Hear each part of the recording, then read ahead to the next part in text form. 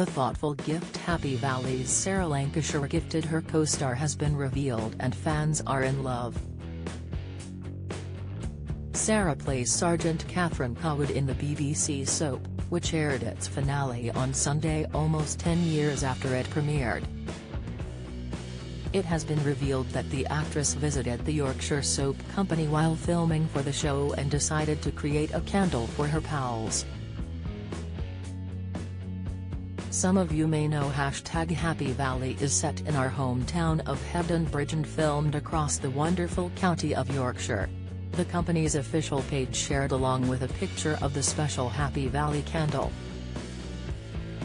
Whilst filming in town we had the pleasure of welcoming the amazing Sarah Lancashire into our shop, and over the summer of 2022 we worked together on a special gift from her to the entire cast and crew for wrapping the final season. A very Yorkshire Happy Valley candle. They continued, during this time she donated to us, the police hat and shoulder numbers from season 3 that went on to raise an amazing £4,500 at a charity event organised by the Halifax Ukrainian Club.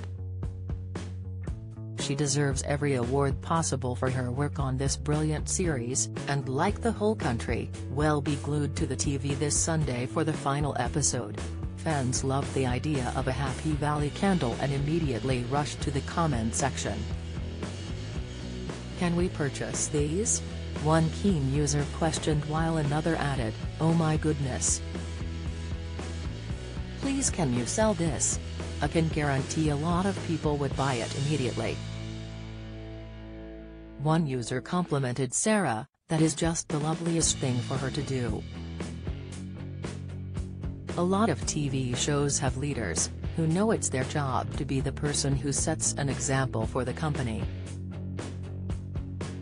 It is always the most classy person who does that, and she fits that bill. Gorgeous, kind human being. Good work, Sarge. After the finale, viewers finally found out the fate of murderer Tommy Lee Royce, James Norton, and retiring police officer Catherine Cawood. Millions watched as Norton's character set fire to himself and burned to death after clashing one last time with police officer Cawood. Discussing the ending of his character for the first time, Norton said, the ending was sort of perfect, in a Sally Wainwright writer sort of way. It was fireworks but it wasn't fireworks, it was sitting over a kitchen table and that is where Happy Valley really thrived. That's the heart of the whole show. Cups of tea over kitchen tables in kitchens in Yorkshire.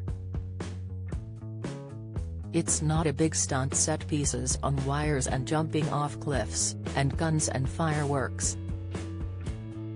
It's gentle, it's domestic, it's human. Follow Mirror Celebs on Snapchat, Instagram, Twitter, and Facebook.